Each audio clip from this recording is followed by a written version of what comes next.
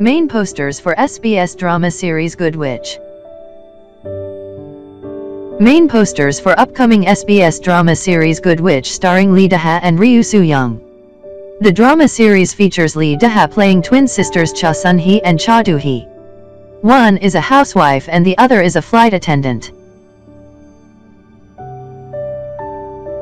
When the flight attendant sister becomes involved in a conspiracy and loses consciousness, her twin sister takes her identity to find out what happened. Good Witch first airs March 3, 2018 in South Korea.